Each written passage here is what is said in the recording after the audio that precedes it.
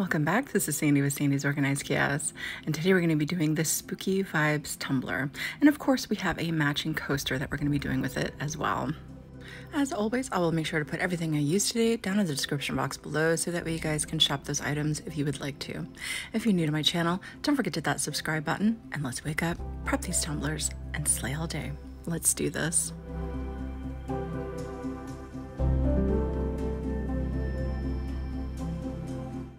Right, jumping right in, let's get started on our base. I went ahead and I prepped it and I primed it this key lime color by Rust-Oleum.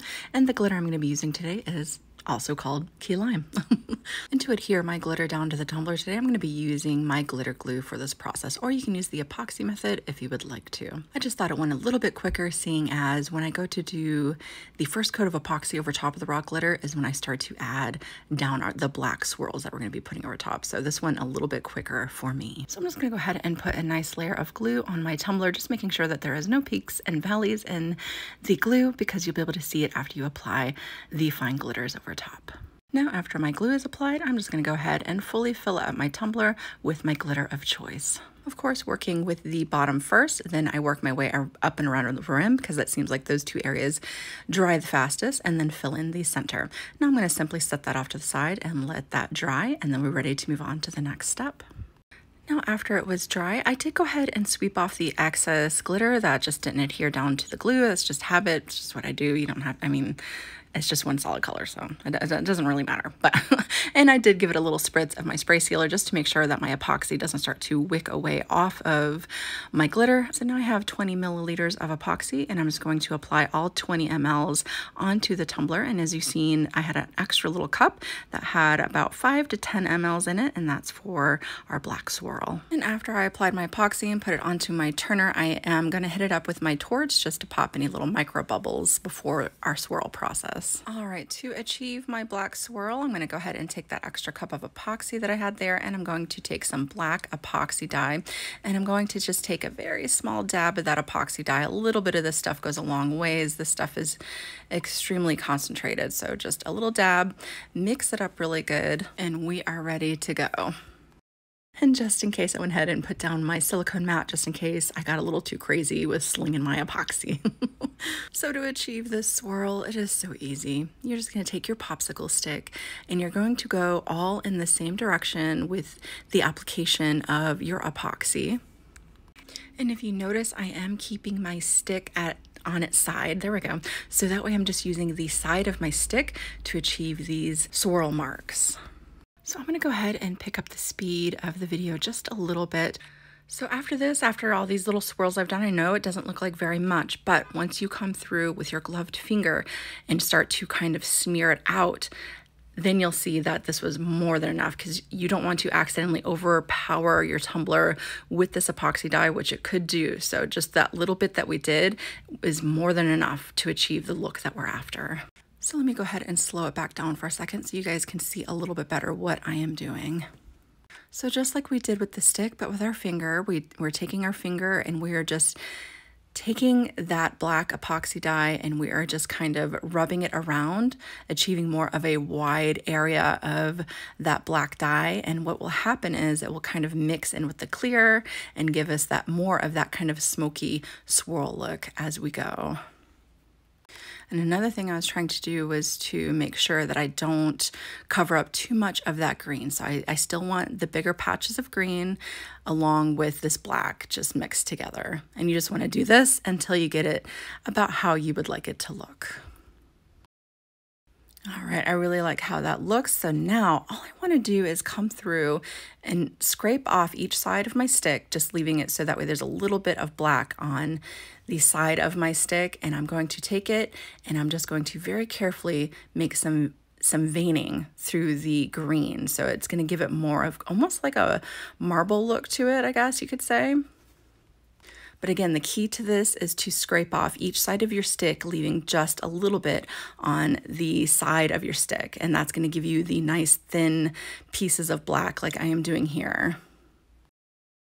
Now, after you get the amount of veining you would like and that is looking good to you, we're gonna go ahead and move on to the coaster. But I really like how this looks. I think it's just enough of everything. So for the coaster, I just have a little round coaster that I've been using lately. It's been kind of my favorite thing, but I'll put in the description box for you guys if you want to check that out. But I have, I think it was about 30 or 40 milliliters of epoxy in my little cup there. And I'm going to go ahead and put the green glitter in there just like how it is on the tumbler. And I'm going to go ahead and stir that up really good. And then I'm going to go ahead and put that into my mold. Now I don't want to fill it all the way to the top because I do want to match some of the things that I'm doing on the tumbler itself onto the coaster. So you don't want to fill it all the way to the top so that way we can do that stuff to it and still have enough room to be able to put another coat of clear epoxy over top of all that. So not all the way to the top, just, you know, almost there.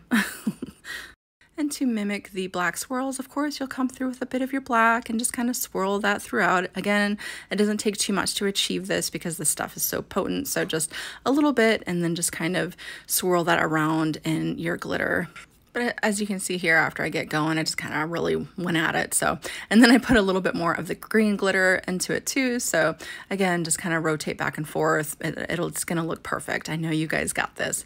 So after I do that, I'm going to go ahead and set that off to the side and let that cure with the tumbler. And then we're ready to move on to our next step.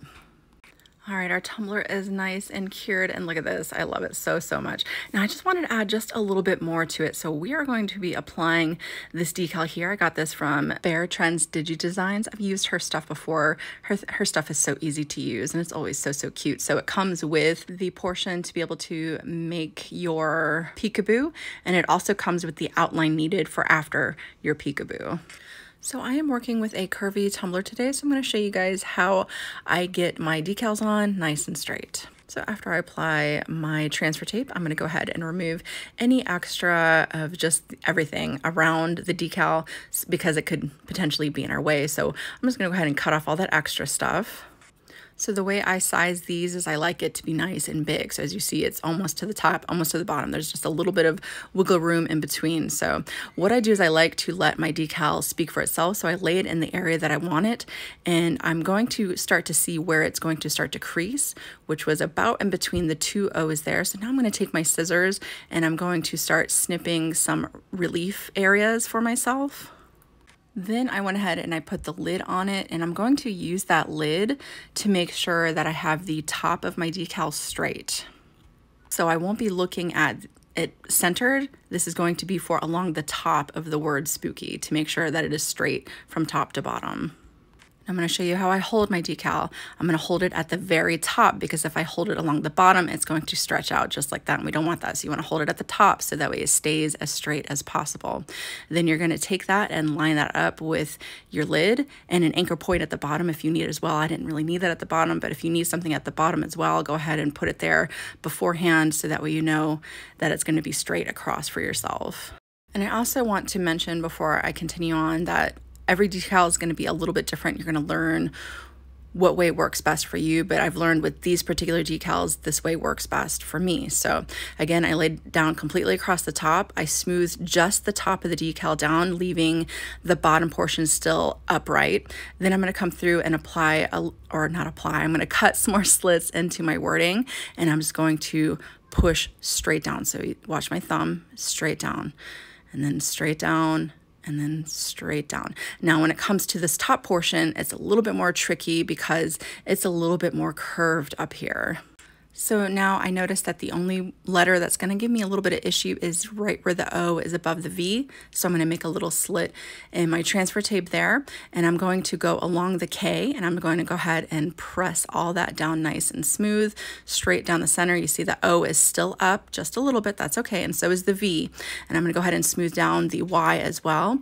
Now I'm going to go ahead and come through and start burnishing down the O portion.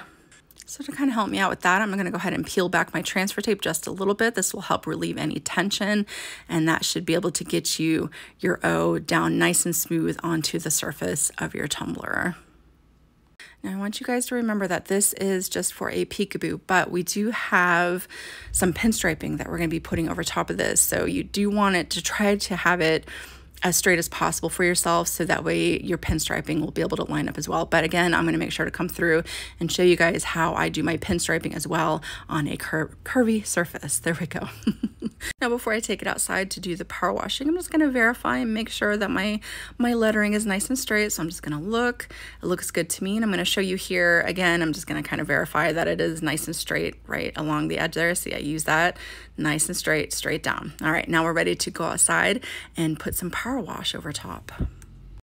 So to give it that really cool bubbly look, we're going to be using our Dawn Power Wash Spray.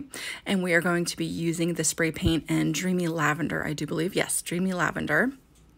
So our Dawn Power Wash is going to act as a masking agent, making our spray paint repel off of it. So wherever this is, the spray paint will not stick to that area.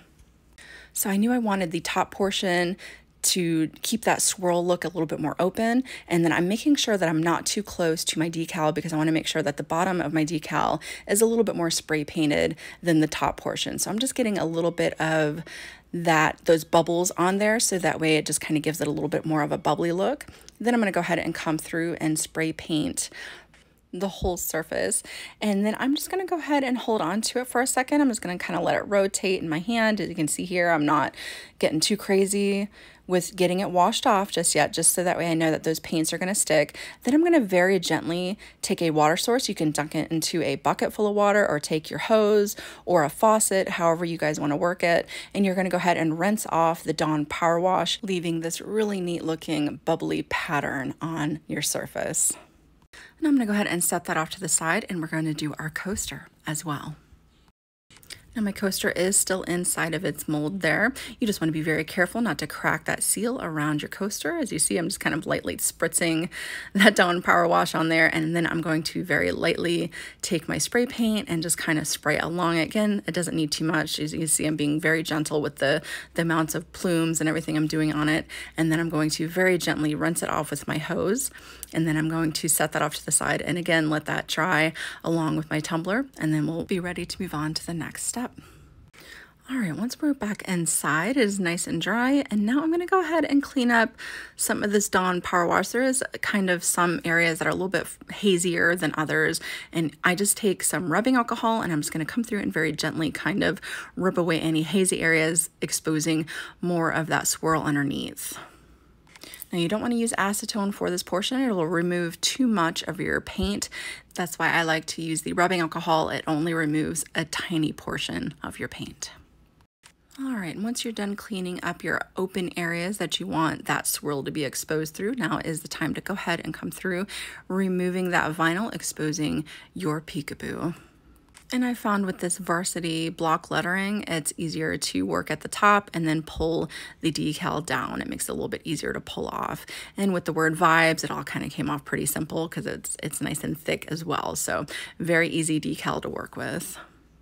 So I knew that I wanted kind of that almost faded look where the words kind of went up into that swirl and kind of faded away, but that's okay. We're not going to panic or anything. We'll be able to fill this in nice and fine with our pinstriping after we go to apply it. Trust me. Okay. I know you guys got this. Now before I do my pinstriping, I'm going to go ahead and put a coat of epoxy over top. I did spritz it down with my semi-gloss clear, again, just to make sure that nothing wicks away off those paints we just applied. Go ahead and place it onto the turner, hit it up really good with your torch to pop any little micro bubbles and let that cure. And before I add my finishing decals, I am going to go ahead and remove any extra epoxy around the rim there. I'm gonna go ahead and give it a sanding. I'm also gonna sand around the bottom as well, just being very gentle around the bottom. You don't wanna accidentally go through that layer of epoxy we just did and rub away your paints underneath. So I'm just gonna go ahead and give that a good sanding on the top and the bottom. Now for our finishing touches, after we get it all sanded, I'm gonna go ahead and apply my transfer tape over the top here. And I did use kind of, it's not, it's like monochromatic, so it's like lavender on lavender kind of look. I, I really like that. And I'm gonna go ahead and cut those bats away off there too, because I'm gonna place them up underneath after everything's all said and done. And I also printed out extra bats and made them a tad smaller to go into the coaster. So those can be those can be cut out on their own outside of your stuff that you did here. So now I want this to be absolutely perfect because this is my finishing outline. I am actually going to completely cut this in half and that's okay to do that. You could even come through and do each letter individually if you needed to. You know, it's completely up to you. But I went ahead and I already knew where that crease is at, right in between the two O's is where it starts to get that crease going. So I went ahead and just removed that completely. So I'm gonna go ahead and do this bottom portion first. I like to look at the center of each letter and I find that if I just look at the center of each letter and line it up that way, it always lays nice and even for me around the whole word itself. So I'm gonna go ahead and get that laid down. And that second O, I completely cut away from the rest of the decal and I'm going to apply that by itself. Like I said, it's completely fine to come through and do that. You know, this is going to really guarantee that it is as straight as possible for you guys. So, so don't even worry about separating it. It's going to be fine. Now for the rest of my decal, I am going to work on the word vibes. So I don't want to press down the letters K and Y. I'm just going to line up the word vibes and I'm going to go ahead and get that burnished down. Then I will very carefully pull away the transfer tape off of the word vibes, leaving the K and Y left to get lined up and burnished down to my tumbler.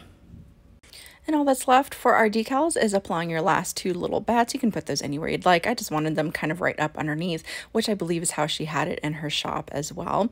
Then all that's left to do for your tumbler is apply its last two finishing coats of epoxy, and it is good to go. And for the coaster, I went ahead and applied those bats that we talked about earlier. I just kind of sized them down just a little bit. And I just went with the motion of this the spritz that happened on there. Yours could be a little bit different. You know, you could do however you would like, you know.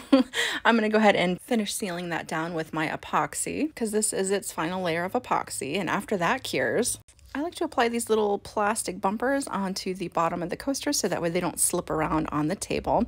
And how you apply those is you just want to clean the surface off with a little bit of rubbing alcohol. This is just going to remove any oils that might be on the surface so that way our bumpers can be adhered properly but I just do four all together, just lining them up straight across from each other, and there we go. It is good to go. Whether you take this design and duplicate it as is, or you take it and let it inspire you to create something that is completely your own, I hope that you guys had a lot of fun watching this tutorial today. Again, if you're new to my channel, don't forget to hit that subscribe button, and I will see you guys next time.